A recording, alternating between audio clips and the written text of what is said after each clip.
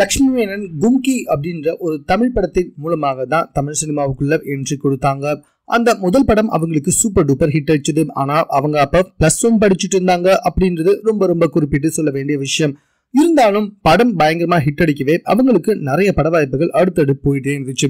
விஷால் கூட மட்டுமே கிட்டத்தட்ட எனக்கு தெரிஞ்சு மூன்று படங்களுக்கு மேலே நடிச்சிருப்பாங்க. அதை தொடர்ந்து இன்னும் பல படங்கள்லையும் வந்துட்டு நடிக்கிறதுக்கு அவங்களுக்கு வாய்ப்பு வந்துகிட்டு தான் இருந்துச்சுங்க. ஆனால் அவங்களுடைய உடல் எடை பருமன் வந்துட்டு அவங்கள விட வேகமாக வந்துட்டு முன்னேறி போச்சு.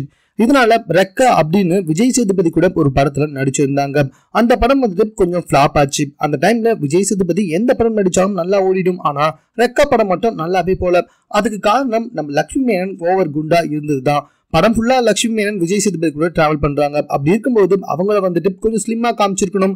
ஸோ அவங்க இல்லாம அவங்க இடத்துல வேற ஏதாவது இருந்தா படம் நல்லா ஓடி இருக்கும் அப்படின்ற மாதிரி வந்துட்டு பல பேர் அவங்களுடைய கருத்தை முன்வைக்கவே லட்சுமி மேனனுக்கு பல வாய்ப்புகள் அதுக்கப்புறம் எதுவுமே வரவே இல்லை. இவங்க வந்துட்டு இதுக்கு முன்னாடி தன்னை இன்ட்ரடியூஸ் பண்ண டேரக்டர் கிட்டையும் அதுக்கப்புறமா தான் நடித்த படங்கள் கிட்ட இருந்த இயக்குனர் எல்லா வந்துட்டு ஃபோன் பேட்டி பேசிட்டாங்க. இருந்தாலும் இவங்களுக்கு யாரும் பட வாய்ப்பு கொடுக்க முன் வரவில்லை.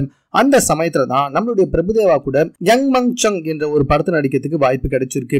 கண்டிப்பா இந்த படம் வெளியானதுக்கு அப்புறமா ஒரு நல்ல எதிர்காலம் தனக்கு இருக்கும். மறுபடியும் விட்டு எடுத்து பிடிச்சிடலாம் அப்படின்னு சொல்லிட்டு லட்சுமி மேனன் ரொம்பவே வந்துட்டு இந்த படத்துல ஹார்ட் ஒர்க் பண்ணியிருக்காங்களாம். ஆனா இந்த படத்துலயும் வந்துட்டு இவங்களுக்கான கதாபாத்திரம் கொஞ்சம் கம்மியா தான் இருக்காம். இவங்களுடைய கதாபாத்திரத்துக்கு அழுத்தமும் கம்மியா அதனால இந்த படத்துலயும் அவங்களுடைய பெயர் வெளிவதற்கு வாய்ப்பே இல்லை அப்படின்ற மாதிரி அந்த படக்குழுவினரே பேசி வந்துட்டு இருக்காங்களாங்க ஸோ இந்த படத்துக்கு அப்புறமா நல்ல ஒரு ரவுண்ட் வரலாம் அப்படின்னு எதிர்பார்த்து இருந்த லக்ஷ்மணனுக்கு இது ஒரு மிகப்பெரிய ஏமாற்றமாகத்தான் இருக்க போகுது.